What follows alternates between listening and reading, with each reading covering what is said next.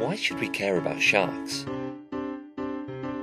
Sharks have been in our oceans for over 400 million years, and during that time they've survived five major mass extinction events. Yet never before have they faced threats to their survival like they do today. In fact, scientists estimate that an average of 100 million sharks are killed every year.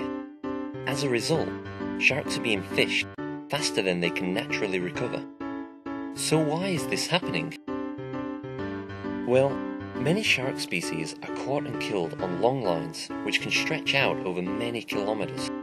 But because sharks are often not the intended catch, they are discarded as waste. This is known as bycatch. Due to the destructive methods used by many fishermen, bycatch often makes up the majority of their catch.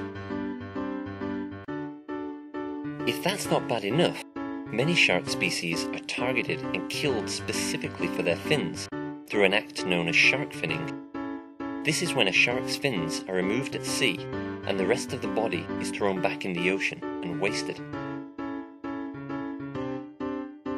Shark's fins are used to make shark fin soup. However, there is no nutritional value in a shark's fin and absolutely no taste. In fact, shark fins have been shown to contain high levels of toxic mercury, which have been linked to fatal diseases in humans. Because of overfishing, many shark species face a real risk of extinction in the near future, which is already having a devastating effect on our marine ecosystems.